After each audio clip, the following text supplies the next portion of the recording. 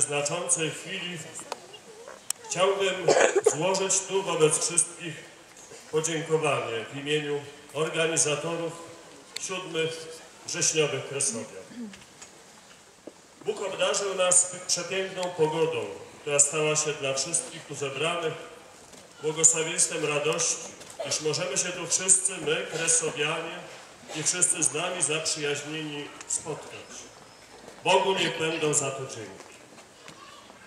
Składam z wielką radością i wzruszeniem podziękowanie księdzu arcybiskupowi Mieczysławowi Mokrzeckiemu, metropolicie lwowskiemu, za tą jego tu z nami obecność. Lwów i archidiecezja lwowska to przecież ta część Kościoła Powszechnego, z której większość naszych przodków, rodziców i dziadków się wywodzi, a którzy znaleźli się tutaj na Dolnym Śląsku nie z własnej woli, lecz przymuszeni skutkami II wojny światowej. Dzięki Tobie, księże arcybiskupie, jesteśmy bliżej tych miejsc, które tak ukochali nasi przodkowie i do których tutaj, na tej ziemi, tak bardzo tęsknili. Jesteśmy przez Ciebie bliżej tych wszystkich naszych rodaków, którzy tam pozostali. Bardzo serdecznie dziękuję księdzu biskupowi Stefanowi Cichemu, biskupowi Legnickiemu, iż poparł starania środowisk kresowych i z radością zaprosił księdza arcybiskupa do diecezji legnickiej, dając tym samym okazję do trzydniowego ugoszczenia dostojnego gościa w tak uroczysty i tak ważny dla wszystkich sposób. Dziękujemy jednocześnie księdzu biskupowi za nieustającą opiekę nad nami, kresowianami, gdy uczestniczy w naszych spotkaniach, wspiera duchowo, obecny jest w Białej, w Legnicy, w Krzeszowie i w innych miejscach, gdzie gromadzą się kresowianie i sybiracy.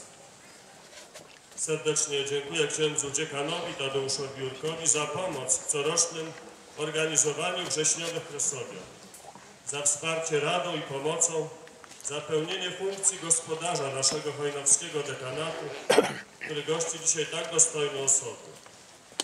Zapłać szczególnie księdzu prałatowi Władysławowi Juszkowowi, diecezjalnemu duszpasterzowi Sybiraku i Kresowian także, za to, że jest z nami, że zawsze jest gotowy służyć swoją kapłańską posługą, szczególnie właśnie środowiskom Sybiraków i Kresowian.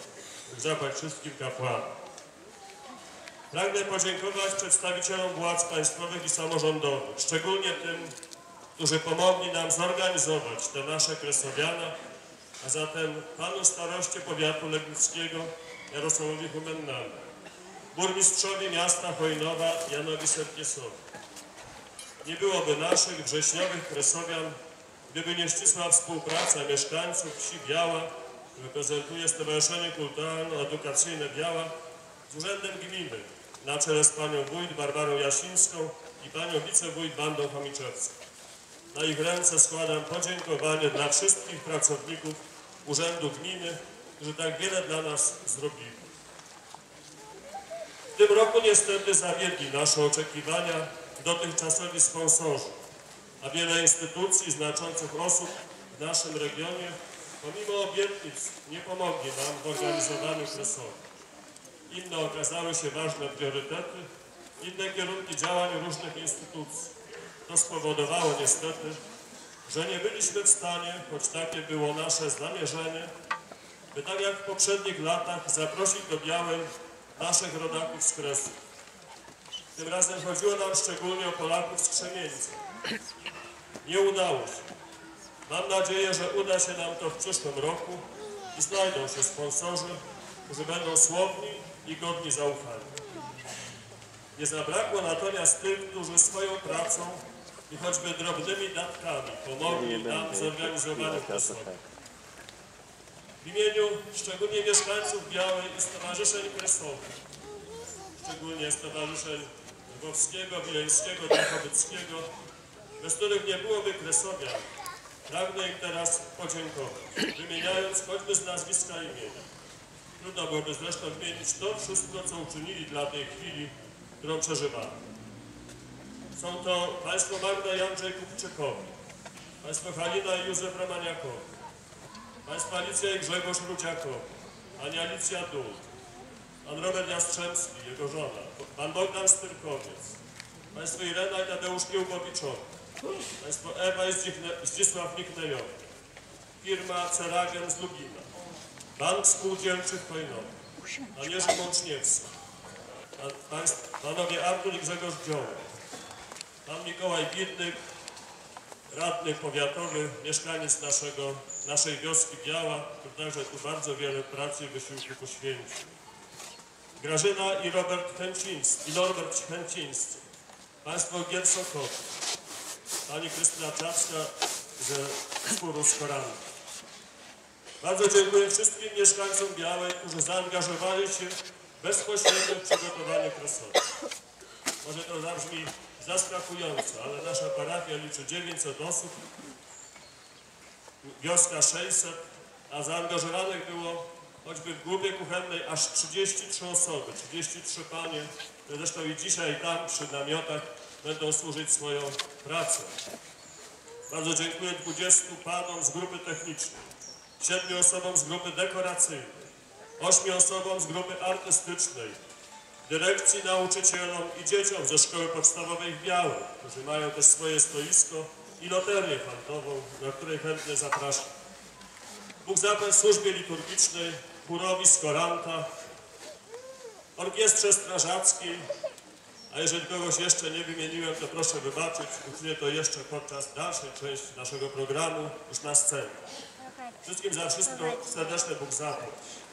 Za chwilę rozpocznie się część po Trawa się błogosławieństwie poklejała. kulinarna, jak co roku, kuchnia kresowa, potem występy zespołów artystycznych, o na 15 Albo na misterium poświęcenie przyrodzie Józefa skierowałeś. a o 16 Jeszcze rozpocznie się prezentacja Dobrze.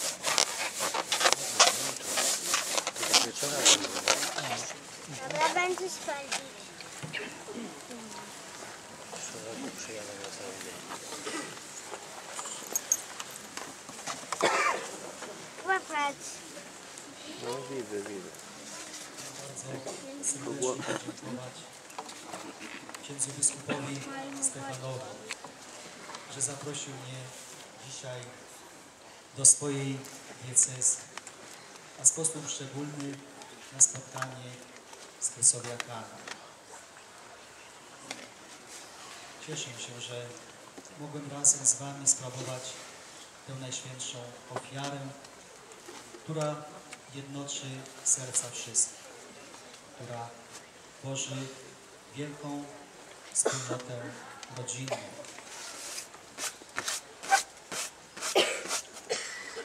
Wiemy, że nasi przodkowie z bólem serca opuścili swoje domy. Ale możemy możecie być z nich dumni. Pozostawili po sobie niezatarte ślady. W sposób szczególny silną mocną wiarę, która przetrwała do dzisiaj. Pozostawili także piękne świątynie, które, tak jak powiedziałem, powoli wracają do swojej pierwotnej świetności, a które były wyrazem ich głębokiej miłości do Chrystusa. Myślę, że ksiądz biskup się nie obrazi, jeśli powiem, że biskup Lwowa jest waszym biskupem. Możecie zawsze przyjeżdżać. Wierni wasi rodacy na tamtych terenach wschodnich potrzebują waszej solidarności, potrzebują waszej obecności. Dodajecie im odwagi, otuchy, a także wspieracie ich swoją modlitwą. Przyjeżdżajcie, by zobaczyć te miejsca, z których pochodzili wasi ojcowie, wasi, wasi dziadkowie. Przekazujcie te wielkie tradycje swoim dzieciom, swoim wnukom. Bo archidiecezja lwowska zawsze wierna Panu Bogu, pozostawiła w sercach i w duszach ludzkich głębokie wartości, które nie